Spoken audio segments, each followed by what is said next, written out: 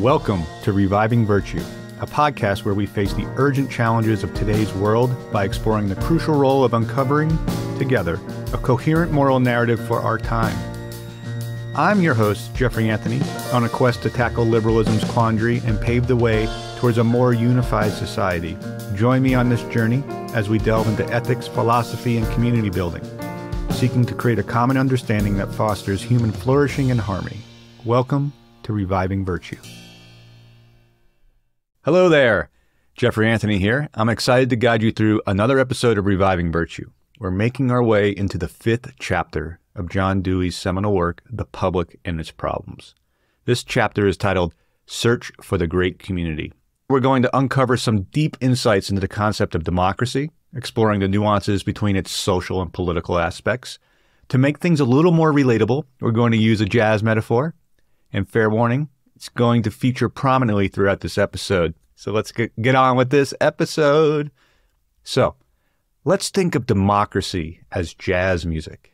And we will extend this metaphor to understand the first concept Dewey introduces in chapter 5 that of the differences between political democracy and the social idea of democracy. Picture political democracy as the notes written on a piece of sheet music. They're the tangible, visible representations of the music. This is akin to the mechanisms and structures of government the elected officials, voting systems, majority rule. They provide a framework, a melody, if you will, that structures our collective life. On the other hand, the social idea of democracy is like the spirit of jazz itself, the essence, the feel, the rhythm, the magic that happens during improvisation, that which is harder to pin down, but arguably the very essence of the music, that ineffable sense. This element encompasses the values, the desires, the unwritten rules that weave through our society and represent the rhythm that flow, usually unnoticed within us, our families, schools, work culture, our spiritual and religious groups, the traditions that make up who we are. These two aspects are intertwined the metaphor of the political democracy that notes on a page of music and the social idea of democracy, the spirit or essence of performing those notes on the page in the jazz idiom or tradition. They blend together to create a beautiful, harmonious piece of music, we hope. However, as Dewey points out, the governmental practices that we often see do not fully embody this democratic ideal. Just as a lead sheet written for a jazz performance cannot fully capture the vibrancy and spontaneity of a live performance, our democratic institutions are not the fullest realization of the democratic idea. They demand that people within these institutions react to the needs, desires, and problems of the time creatively and courageously. They demand the people within these institutions react to the needs, desires, and problems of their time creatively and courageously. Moreover, the citizens of the democratic society must also be an active part of this process. They shouldn't expect governmental practices, to use a Deweyan term, to just operate on autopilot based on some idealized notion of democracy, which may be ill suited for the present moment. Remember, Dewey insists there are no absolutes, and it is incumbent upon us to meet the challenges of our time. I see this as Dewey really just hammering home the point of responsibility. This is our responsibility. In our jazz metaphor, it's like expecting a jazz band to play perfectly just by following a lead sheet without considering the audience, the venue, the mood of the moment, the other people within the band. The real magic happens when the musicians respond to their environment, when they riff off each other's energy, when they listen to the audience's reaction and adjust their performance accordingly. This is just as a thriving democracy requires active, engaged participation from both its leaders and citizens, constantly attuning to the ever changing rhythms of societal needs and responding creatively. When this intelligent, again, we're using John Dewey's understanding of the word intelligent, engagement with the world is not in tune with the needs of time and place, this is where our tune starts to sound a bit off key. While the sheet music is essential for providing the basic structure with the key, tempo, and form, we can't lose sight of the spirit, the improvisation, the groove, the vibe, the interplay that makes jazz, well, jazz. In the same vein, our democratic institutions play a vital role. we must not forget the underlying social ideas and moral aspirations that make democracy what it is. Now, you might be wondering, what's the cure for this? More notes? More refined sheet music? Dewey suggests that we need to return to the idea itself, to the jazz, so to speak. He pushes us to clarify, deepen our understanding of democracy's meaning, and use this understanding to critique and reform its political manifestations. He demands that we constantly reevaluate what it means to be living in a democratic society. We cannot be on autopilot. Dewey moves into this idea of the displacement of the need for more public input. I mean, think about a time you've been part of a sports team, let's say a soccer team. As members of the team, you you all have a common goal to score and prevent the other team from doing so. But achieving this goal isn't as simple as just showing up on the field. It demands coordination, communication, and most importantly, active participation from every member. Now, imagine if only a few players were deciding the game plan, and others were just expected to follow without having a say. The team's performance would likely be subpar, and the players would feel excluded and demotivated. There's just no groove there. There's no vibe. There's no, yeah, what's the word I'm looking for? There's, there's no culture there. The team's performance would likely be subpar, and the players would feel excluded and demotivated. In the same vein, in the grand game of democracy, all citizens are players. And for the team to perform well, every player must have a say in the strategies and tactics, the policies and decisions that guide our collective life. Dewey argues that the democratic ideal calls for more public input, more participation from the citizens. As he puts it, the government exists to serve its community, and this purpose can't be achieved unless the community itself has a hand in selecting its governors and determining their policies. However, Dewey acknowledges the challenges in enabling the public to express its purposes authoritatively. He talks about the intellectual problem of transforming the great society, a society with diverse, scattered, and mobile groups, into a great community. This leads us to the next theme. Okay, Picture this transformation of the Great Society into a great community, like turning a wild, overgrown garden into a carefully planned, harmonious landscape.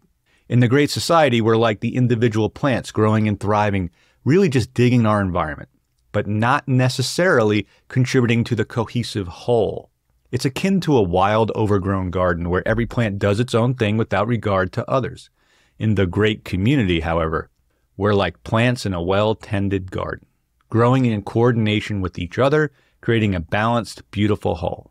The great community, according to Dewey, is a society everyone participates according to their capacity in forming and directing the activities of the groups they belong to. Everyone has a responsibility to share.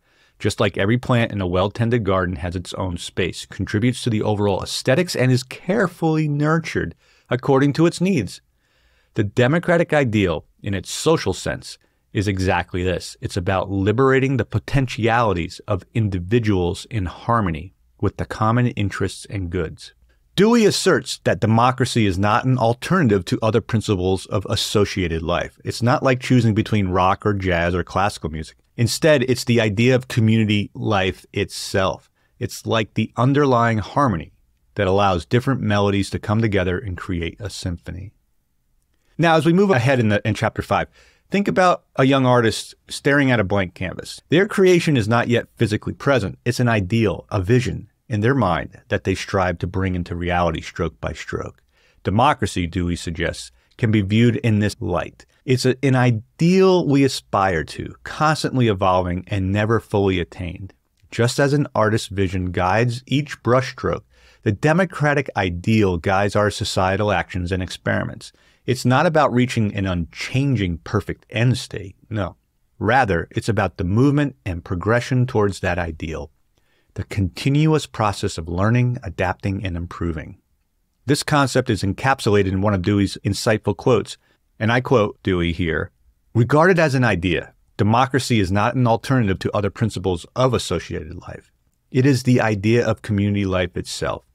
It is an ideal in the one intelligible sense of an ideal, namely, the tendency and movement of something which exists carried to its final limit, viewed as a complete, perfected Since things do not attain such fulfillment but are in actuality distracted and interfered with, democracy in this sense is not a fact and never will be. This is a pretty amazing quote there. right? We can never get to that perfect point. It's an it's a continual project. There is never such a thing as business as usual, and there never should be. The democratic ideal, as Dewey sees it, is born out of the belief in the potentialities of human being and the faith in the possibility of common goods realized through conjoint activity. It's akin to a symphony of different instruments playing together in harmony, each contributing their unique sound to create a unified piece of music that is appreciated and enjoyed by all. But this symphony is not static, it's ever changing, always emerging anew, much like Deleuze and Guattari's conception of reality. The score may guide the music, but the performance is always unique, shaped by the musician's interpretation and interaction with one another and the audience. Democracy, then, isn't a static endpoint, but a dynamic process, reminiscent of the Deleuzian idea of becoming. It's like the ebb and flow of a river, with the riverbanks constantly moving and reshaping themselves, carving out new paths and adapting to changing landscapes. The pursuit of democracy in this light is a pursuit of an ever evolving ideal, constantly emerging reality that demands active participation and continuous dialogue and constant evolution. It's not simply about achieving a state of democratic perfection. No, it's about engaging in the process of democratic becoming. So, in essence, while the notes of political democracy may be written on the sheet music of governmental structures, the melody that brings these notes to life, the social idea of democracy, is a dynamic improvisational jazz performance. It's born from our collective ideals and becomes a beautiful, harmonious piece of music only when all of us are actively participating contributing our unique rhythms and adapt to the ever changing beats of our societal needs and changes and challenges. So, taking this metaphor of the Democratic Symphony a little bit further, let's explore the distinctive elements of this orchestration, the themes of fraternity, liberty, and equality, as envisioned by Dewey in the context of this communal life he's, he's articulating. These values are inseparable components of our of a democratic society. They resonate strongly with the currents of the river of democracy, finding their importance and relevance even in the continually evolving world of today. So the ideas of fraternity, liberty, and equality in this context, Dewey argues that these terms, when detached from the idea of community, become hopeless abstractions. Their meanings are only validated and guided when they serve a characteristic of a community in the sense of a democratically functioning society, the public. So let's explore these one by one. So, fraternity in a communal context can be seen as the shared good resulting from an association in which everyone participates equally.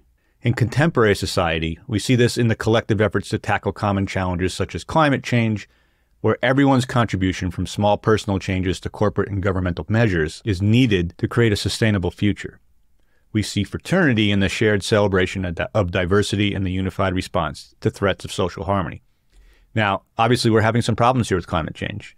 We're, losing that fraternity aspect. And this is why I think we need to create some moral narratives that can provide that glue and also that background upon which we can articulate a fraternity in order to tackle a wicked problem such as climate change, in which we need everyone, everyone in every type of entity all working towards the same goal harmoniously. Now, liberty, as Dewey suggests, is the realization of personal potentialities within the rich and diverse association with others.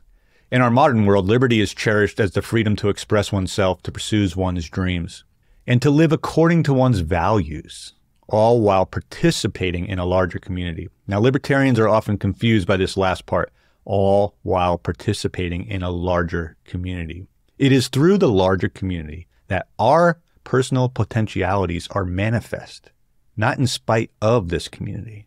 This vision of liberty is far from being a detachment from societal ties. No, it rather involves an active engagement and contribution to society. So if we move on to equality, equality is the equal share each community member has in the consequences of the associated action, measured by need and capacity to utilize.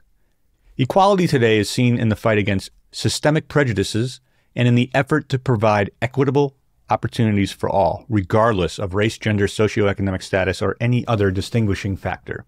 Dewey also brings in the critical distinction between mere associated activity and the development of a real community. According to him, any collective action doesn't necessarily constitute a community. The community comes into being when the shared consequences of these collective actions are consciously recognized and pursued. Similar to Deleuze and Guattari's philosophy of becoming, an ever emerging reality. In this light, Dewey's argument becomes particularly relevant in today's interconnected world, where communication is paramount and the actions of individuals and societies have increasingly global implications.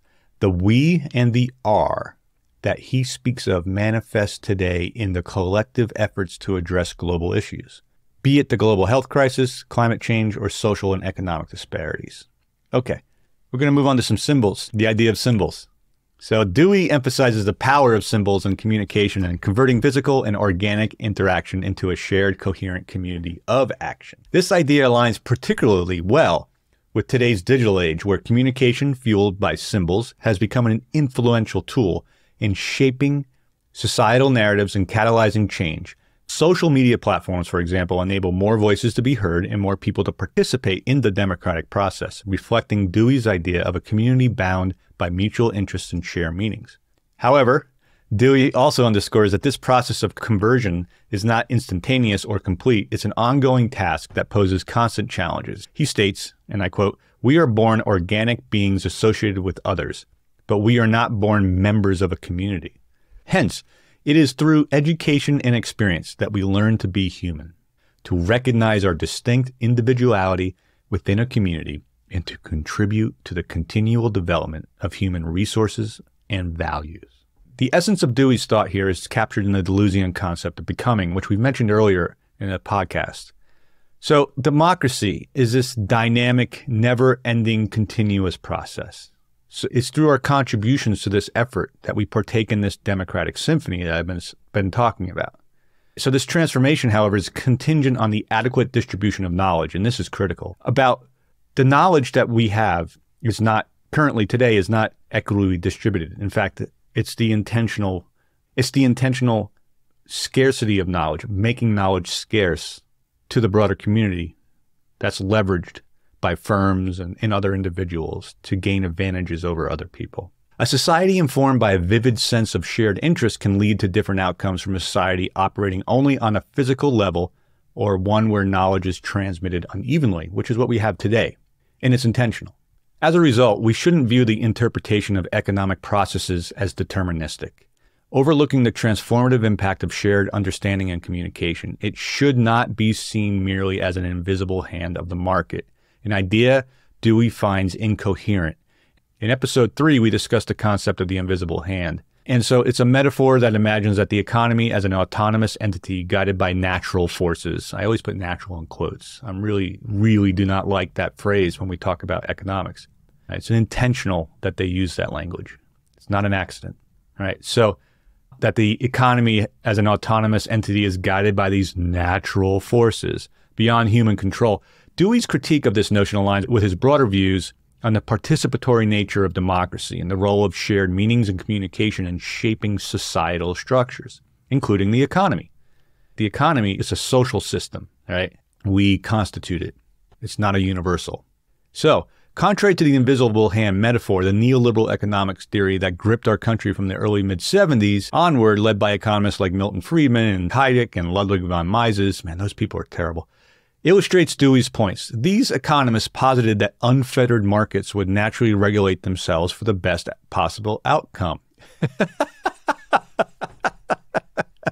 However, in practice, this theory often resulted in an obscuring of the social and political impacts of economic actions. You don't say.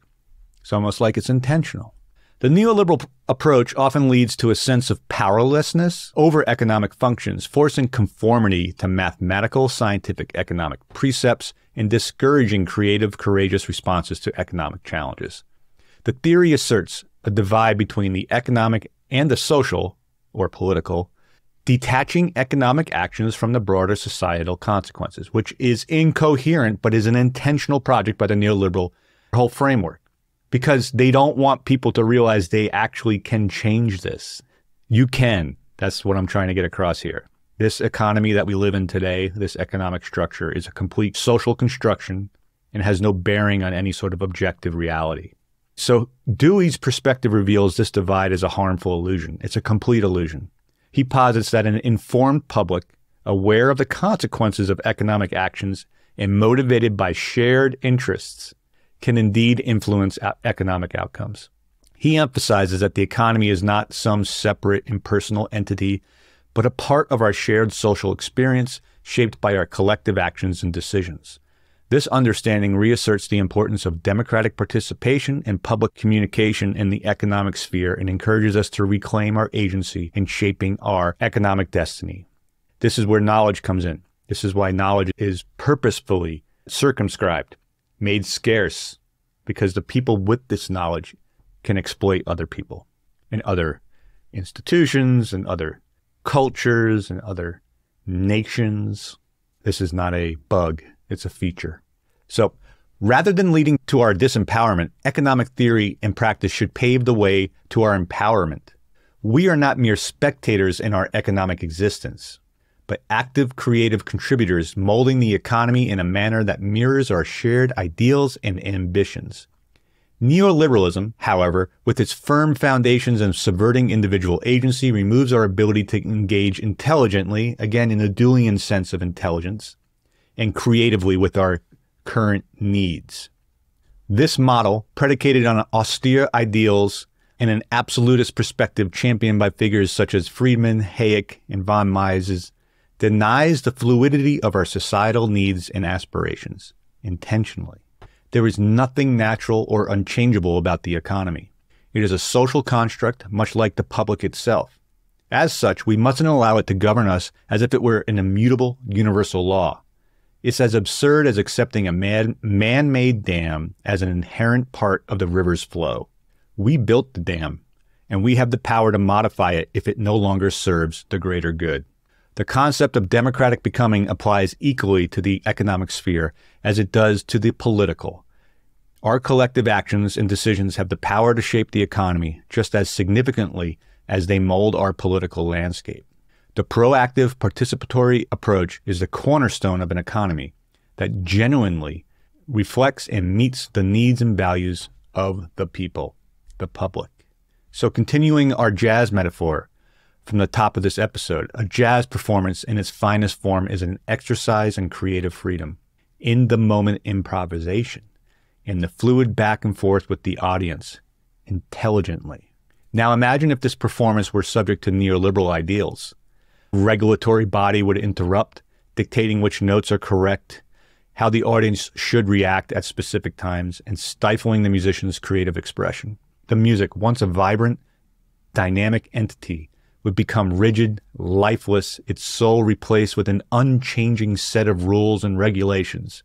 This is what happens when we allow neoliberal economic theories to constrain our societal and economic life. Instead, like a jazz musician, we must dare to improvise, to interact, to creatively engage with the moment, creating a coherent economy that resonates with our shared values, aspirations, and lived experiences of our time. The public should not be viewed as a static museum exhibit, nor should humanity be considered lifeless or inanimate. We are living embodiments of the potentialities within our ever changing, continually learning universe. It's essential that we embrace this fundamental aspect of our existence and celebrate our capacity for change, growth, and transformation. We've been exploring the, metaphor of jazz and its application to the economic and social structures of our society, highlighting the importance of improvisation and active engagement. This creative energy is not just the hallmark of a jazz performance, but, as per Dewey's philosophy, the very heartbeat of our individual and societal existence, encapsulated in what he calls habit. Now let's shift our attention to a parallel yet nuanced concept that emerges in the work of sociologist Pierre Bourdieu, the concept of habitus. This idea adds another layer to our understanding of how our behaviors and societal interactions are shaped. John Dewey believed that habits are not merely repetitive actions, but active and learning orientated behaviors that form the backbone of human society. Our habits both preserve societal order and shape our individual identities. They allow us to function within familiar frameworks, thereby creating a sense of security and predictability. However, there's a dynamic nature to habits They are not set in stone.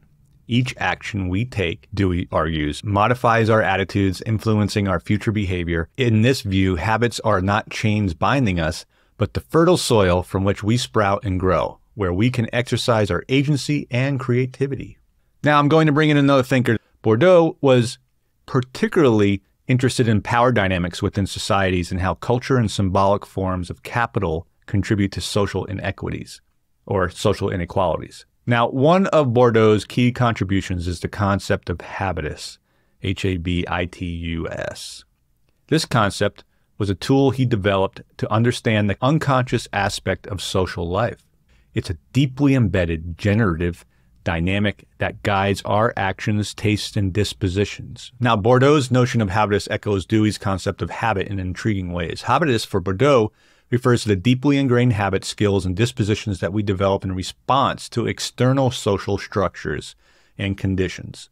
It's like the tune we find ourselves humming without realizing a rhythm so embedded within us, reflecting our social norms and values. But habitus, like Dewey's habit, is not deterministic. It too possesses transformative potential. Through the habitus, Bourdieu explains how individuals navigate social spaces, engage with societal structures, and intentionally reshape them. However, the power dynamics and societal pressures shaping the habitus often constrain this potential for transformation, fostering conformity and reproducing social inequalities. Sounds familiar. Combining Dewey's concept of habit and Bourdieu's idea of habitus gives us a profound understanding of the interplay between individuals and society and how this interplay shapes economic and social systems. Our habits and habitus mold our responses to the socioeconomic structures around us, but they also hold the key to challenging and transforming these very structures. This is why I'm talking about it. In essence, Dewey's habit and Bourdieu's habitus underscores our innate capacity for agency and change, that courageous creativity I speak of in every episode, that we must tap into, especially when confronting the rigid and constraining structures of neoliberal economic systems. Now, focusing more closely on the Deweyan side of this, Dewey's concept of habit is the cornerstone of his philosophy. In his work, he asserts that habit is the mainspring of human action, a statement which underscores the pivotal role habit plays in how we navigate our world. According to Dewey, habits are primarily formed under the influence of groups of customs. They are forged not by isolated individuals, but within the interconnected social networks in which we're embedded. This is really profound when you think about this. We think of habits as something we do on our own, and we, we have to fix our habits. So he declares the dependence of habit forming upon those habits of a group which constitute customs and institutions is a natural consequence of the helplessness of infancy.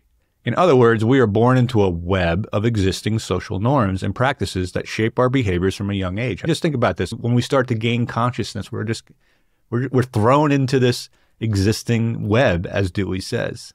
You know, we so much of this is just us trying to figure out what the heck's going on, just trying to make sense of this existing web. I feel like most of the of our lives is trying to uncover all this that we're already thrown into. That's what this podcast is about too, trying to re-articulate or find an articulation to make sense of our world. Because as many philosophers are saying, it's completely incoherent. So as as we started this section off, Dewey goes in to discuss the profound social consequences of habit. Habits, according to Dewey, bind us to orderly and established ways of action. They channel our thinking, guiding it along certain lines. He writes, habits do not preclude the use of thought, but it determines the channels within which it operates. In essence, our habits frame our perspectives and determine the boundaries of our thinking. At the same time, Dewey acknowledges the transformative potential of habits. He states that changes take place and are cumulative in character, while habits can be conservative forces maintaining social order and stability. They also have the potential to evolve and to drive change. This understanding of habit is central to Dewey's philosophy of democratic becoming, underscoring the dynamic and evolving nature of society. So, in synthesizing Dewey's ideas with Bourdieu now, we see a fascinating interplay. Habits, whether framed as Dewey's learning oriented behaviors or Bourdieu's habitus, serve as both the instruments and outcomes of social structures and norms. They form the basic rhythm of our lives, right? Guiding our actions, thoughts, and interactions. But these habits are not deterministic.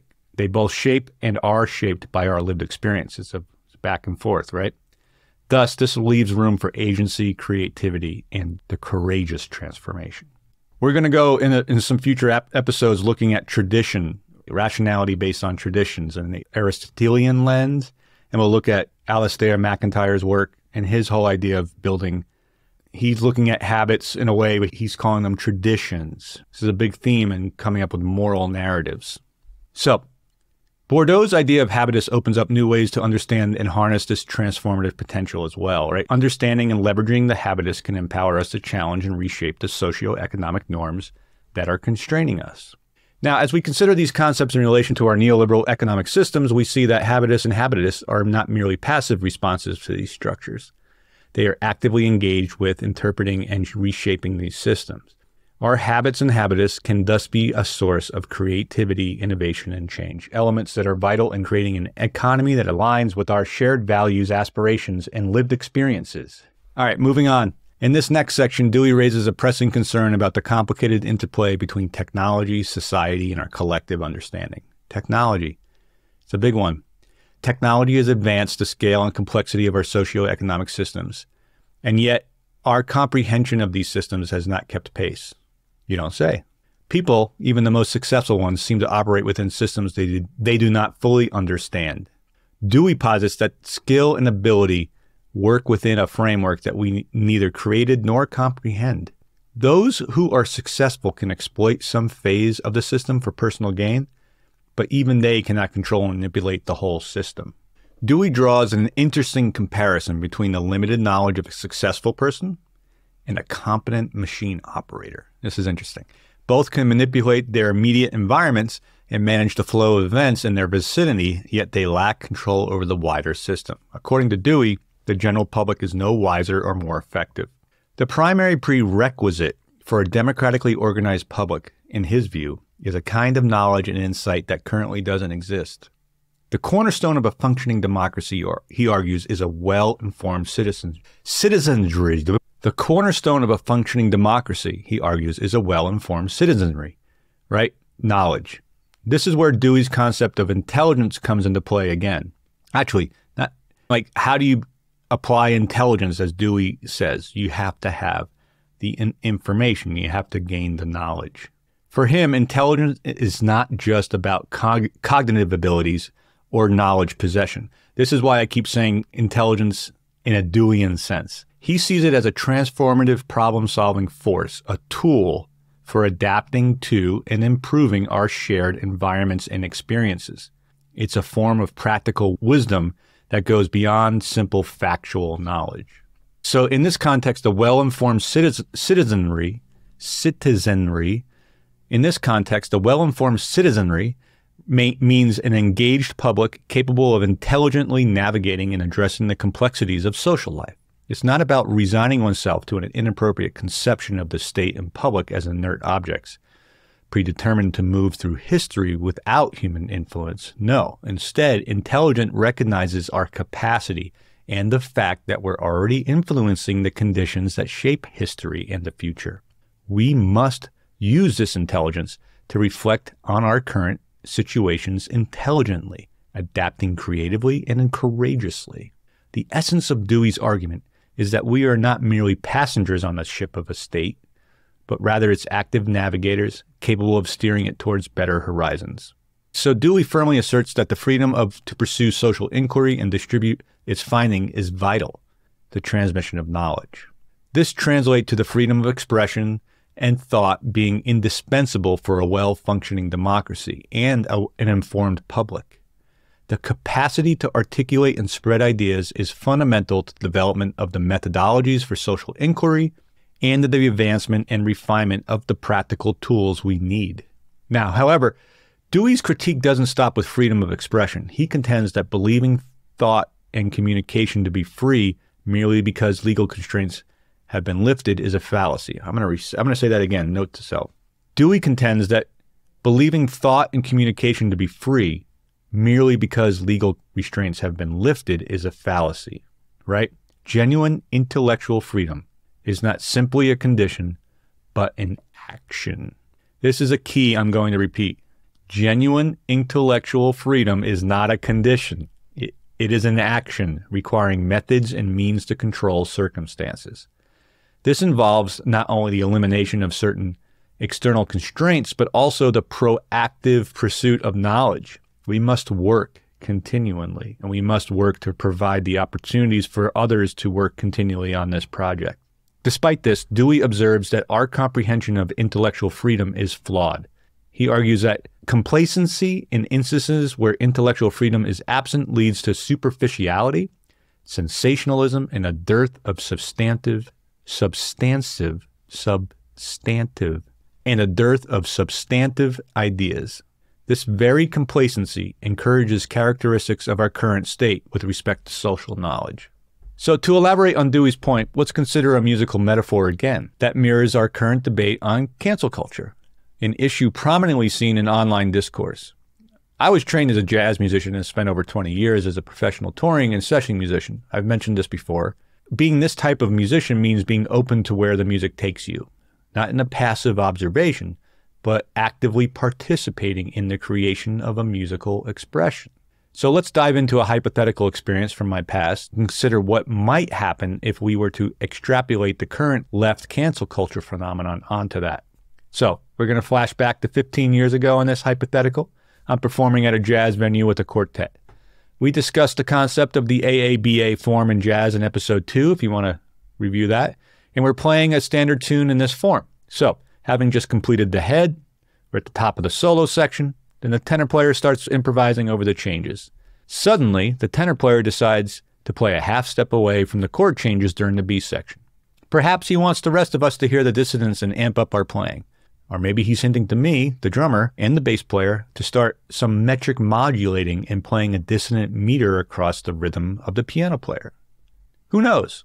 But as a trained musician attuned to the fact that the tenor player is playing a half step away from the understood changes for the B section of this song, we understand that he's communicating something to us. It's our job to intelligently, again in the Deweyan sense, to respond and actively contribute to this mode of articulating the current lived moment. We won't know what will work until we do it in real time in front of an audience. This is how the magic and the awe happens. Now envision an alternate scenario. Instead of collaborating with the tenor's unconventional move, other members within the quartet impose their silence upon him by simply stopping. They effectively cancel his performance and his voice. It's as if an invisible hand reaches out and mutes the performance. This internal policing mirrors the phenomenon of cancel culture, where the dynamic and open ended space for exploration is suddenly truncated, erasing the space for spontaneous creation and any potential for opening new modes of understanding. In societal conversations, much like in jazz, Dewey advises vigilance against such overt and covert obstructions to free communication. Suppressing individual expressions, exploiting social relationships, and succumbing to mass prejudices can hinder the organic development of social knowledge. To have a truly harmonious social ensemble, we must be willing to engage in conversation that may at times be discordant. We need to recognize the value, the individual notes and phrases that contribute to the overall performance of our democratic symphony. This is the essence of Dewey's call for intellectual freedom. A well informed public engaging in open, respectful, and thoughtful discourse to navigate the complexities of our shared social life. This orientation, in order to succeed, must embrace the virtues of open mindedness, courage, prudence, justice, compassion, and an unyielding fidelity to hope, rooted in the fertile soil of our limitless potential for productive associative collaborations. Now, reflecting upon Dewey's thoughts, we find ourselves drawn towards a facet of society that we often fail to appreciate for its true worth. It's often said that even if we manage to perfect inquiry, it wouldn't necessarily make a significant impact on society because the majority of the public isn't particularly interested in learning and digesting the outcomes of such investigations.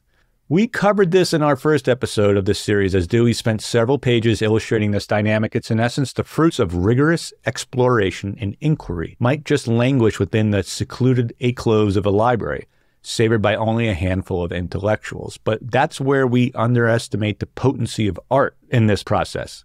Here's the truth presentation matters, and presentation is fundamentally an art, it's a practice. Dewey's argument brings the point to the fore to quote Presentation is fundamentally important, and presentation is a question of art.